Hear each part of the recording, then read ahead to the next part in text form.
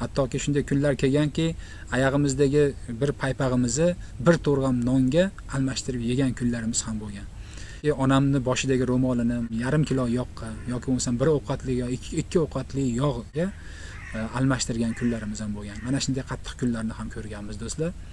Shuning uchun davomli misol videolarimizni qoldirmasdan ko'rishlikka chunki bu videoni ham xudo xolasa men sizlarga mana shu o'zimni hayotimdan tez tez xudo xolasa sizlarga gapirib berishlikka harakat qilaman. Inshaalloh mana shu boshimdagi e, yigirma yillik hayotimni sizlar eshitib e, va ko'rib borishlikka davom eting.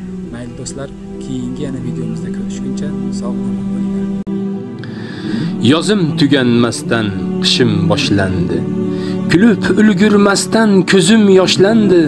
Yashnagan bog'larni qopladi qorlar, olamni quvonchin pokladi zorlar. Porlagan quyoshni bulutlar to'sdi. Dunyoda gullar emas, tikonlar usti.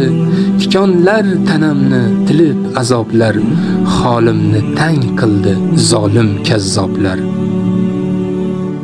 Urib haqoratlab obdon tepishdi, tanamda qon oqsa tuzlar sepishdi.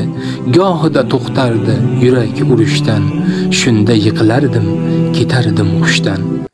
O'lib ketmoqlikka imkon bermasdan, o'lim ham zor qildi kelavermasdan.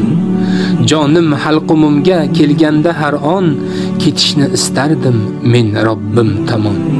Yurak yana urmoqda, tirikman hamon. Oilam uchundir qolganman omon. Yo buyuk ishlarga saqladi Alloh, yoki menda ko'pdir nuqson va gunoh. Meni chorlaganda takbir va ozon, namozga shoshilay, bo'lmasin armon. Tavba tazarruga bordir imkonim, xolis amal qilish shu ixtiyorim. Boshim egib Allohga sajdalar qilay, gunohim kechir deb nolalar qilay, savob ishlar qilish urfu odatim. Alloh rozi bo'lsa mening saodatim. Musulmon duo qil, ochib qo'lingni, Alloh oson qilsin jannat yo'lingni. Neki niyat qilsang, niyatingga yet, iymon bilan kelding, iymon bilan ket.